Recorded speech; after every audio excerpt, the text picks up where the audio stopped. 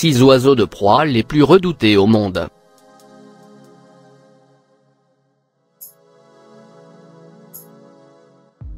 Numéro 6. Aigle Monra. Les aigles Monra sont parmi les plus grands aigles du monde, et aussi parmi les plus menacés. Avec seulement 180 à 500 individus restants, ils ont un faible taux de survie et font face à des risques de perte d'habitat. Les aigles Monra sont brun foncé sur le dessus avec une couronne jaune crème et une nuque veinée de noir. Les longues plumes autour du cou forment une crête lâche, presque gonflée. Ses parties inférieures sont blanches avec des stries brun rougeâtres autour des cuisses, et sa longue queue carrée est brune avec une pointe blanche, une bande subterminale foncée et des parties inférieures grises. Ils se nourrissent d'une variété d'animaux. Les proies mammifères comprennent les lémuriens volants, les écureuils volants, les macaques, les cochons, les chiens, les chauves-souris frugivores et même les petits cerfs. Des oiseaux tels que la volaille sont connus pour être capturés ainsi que des cobras des Philippines et des varans.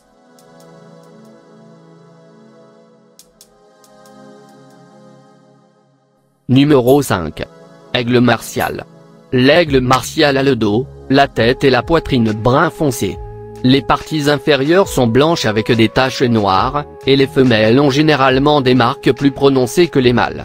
Les rémiges sont striées de noir et les parties inférieures sont brunes. La queue est blanche avec des rayures noires. Les yeux sont jaunes vifs, le bec est noir et courbé et la cire est grise. Ils ont également une crête courte et discrète. Ils se nourrissent d'une grande variété d'animaux. Les proies mammifères comprennent les damans, les lièvres, les madocas, les cervales et les chacals, ainsi qu'une antilope enregistrée pesant près de 37 kg. Les aigles martiaux capturent également des reptiles et des oiseaux tels que des pintades, des otimidés et des francolins. Ils consomment rarement de la charogne. Ils chassent en plongeant jusqu'au sol et peuvent repérer leur proie à une distance de 5 ou 6 km dans les airs. Les couples sont monogames et forment des liens qui durent pendant de nombreuses saisons d'accouplement. La saison des amours est de février à août.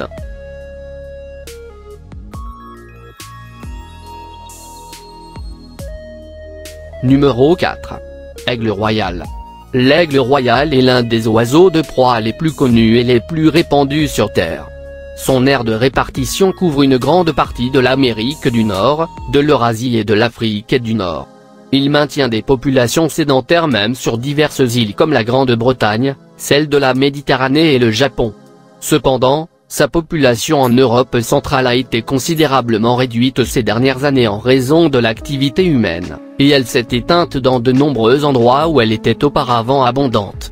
Le pigargue à tête blanche et l'aigle royal chassent tous les deux dans les airs, et pour y parvenir, ils sont équipés des armes typiques de leur famille, des pattes fortes se terminant par des griffes bien développées, un bec crochu, une grande force et vitesse, et une vue puissante capables de localiser des proies à des centaines de mètres.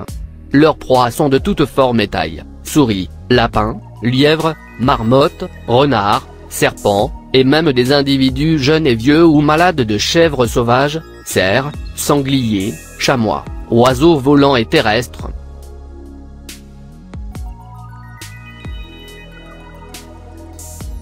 Numéro 3. Vautour barbu. Le gypaète barbu est un oiseau accipitriforme, un oiseau doté de nombreuses vertus et aptitudes. Il est considéré comme un guerrier puisqu'il vit dans les milieux montagneux les plus rudes. Son vol est impressionnant au sein de la nature espagnole. Le nom de cet oiseau dérive de la façon dont il casse les os de ses proies pour les ingérer, il les laisse tomber des airs et quand il frappe, leurs os sont brisés et c'est alors que le gypaète barbu les ingère, il est considéré ostéophage par être un mangeur d'os. Le gypaète barbu est un oiseau en danger d'extinction sur le continent européen, là où il y avait le plus de reproduction. Ils vivent généralement dans des ravins ou des falaises, où il y a des zones rocheuses pour pouvoir lancer leur proie et quand ils tombent, ils sont cassés pour les ingérer facilement. Les zones où il y a des grottes sont excellentes pour faire leur nid et ainsi ils évitent de ne pas être dérangés, ils ne restent pas dans la même zone de nidification sans nourriture.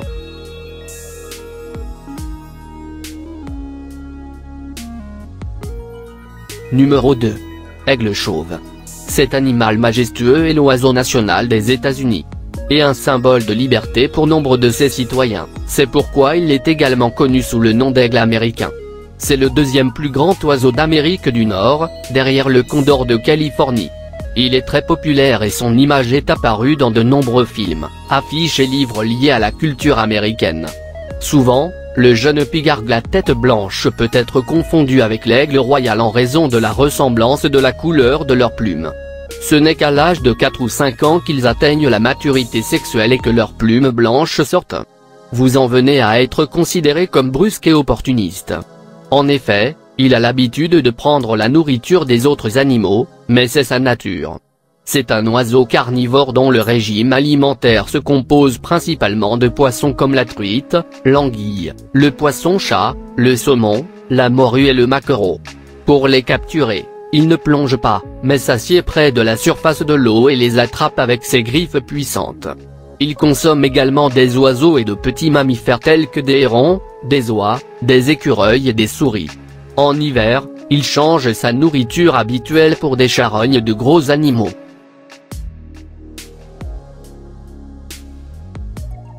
Numéro 1. Aigle harpie. La harpie féroce fait partie des rapaces les plus puissants au monde. En fait, l'aigle harpie est le plus grand aigle du monde.